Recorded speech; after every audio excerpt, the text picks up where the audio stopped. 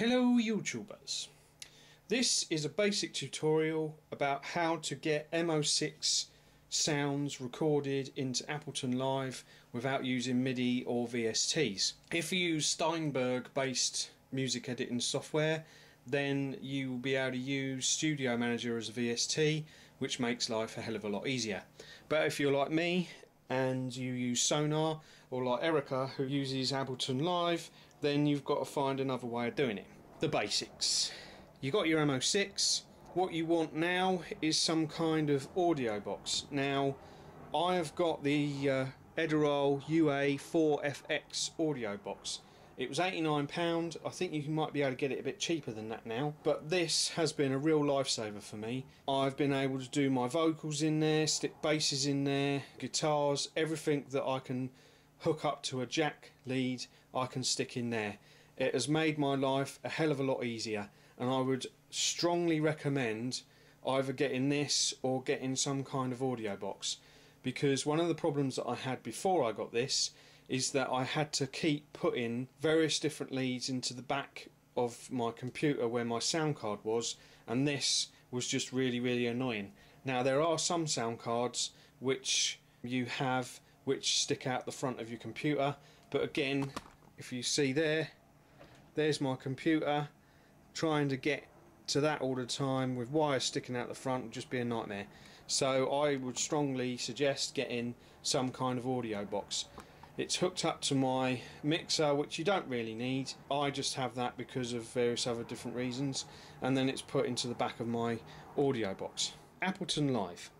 Now I've only used this a couple of times so I'm very new to this and basically I just had a look at it to try and help out Erica to try and find a way of getting MO6 sounds recorded into Ableton Live. First of all what you need to do is hook up your MO6 to your computer somehow.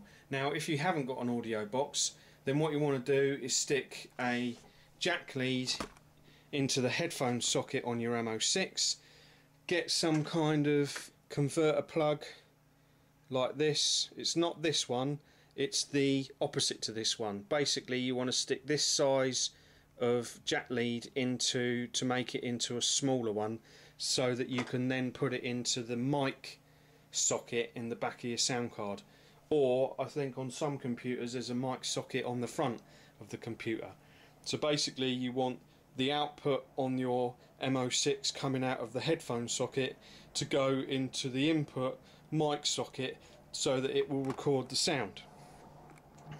So there's Ableton Live. Now first of all what we want to do is check the settings. So you go to options, scroll down to preferences and that brings up this box. As you can see I've got the Edirol in the input and output and it's also clicked on the input on the MIDI ports. Now I'm not really sure if that setup is correct but it seems to work for me and like I say this is a very basic tutorial so I've got me sound what you want is the sound card in the input and output so that's the settings sorted now on here you've got two little bars now what you want to make sure is when you press the keys on your MO6 that you have those two little green bars showing some kind of activity. Without that you're not going to get any sounds going into your computer and you won't be able to record anything. So that is crucial. Right, what you want to do is uh, there's a little red record button there. Basically, you need to click on that to arm the audio track ready for recording. You've got all your settings sorted, the little green bars are showing up. Now what you want to do is press the record button at the top, press play and then press something on your keyboard.